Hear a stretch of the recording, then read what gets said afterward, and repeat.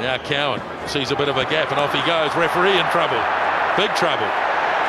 Better blow your whistle, sir. I think Oh, he's dear. been hurt. Yeah, that's uh, that's nasty. There's not much of him, and they want to get the St John's man on.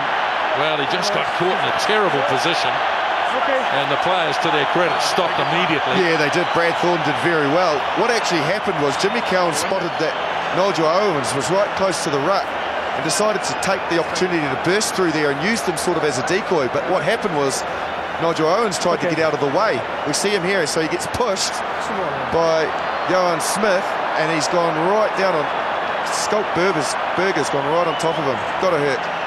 Oh, just watch Juan Smith here. He's actually given him a fair old push. Yeah, he has, but I understand where he's coming from because he was the, the defender that was supposed to tackle Ah, Cowan, okay. and Cowan used the ref to shepherd behind. So Smith, I guess, fear a, a big breakout, decided to try and make up for it by pushing him out of the way. Unfortunately, pushed him into the middle of it rather than away from him. And he's up. Look at him. Tough Welshman. He won't. He won't be bothered by that. No. Well, he'll get a break shortly anyway because he'll be able to blow the whistle by half time very not- shortly.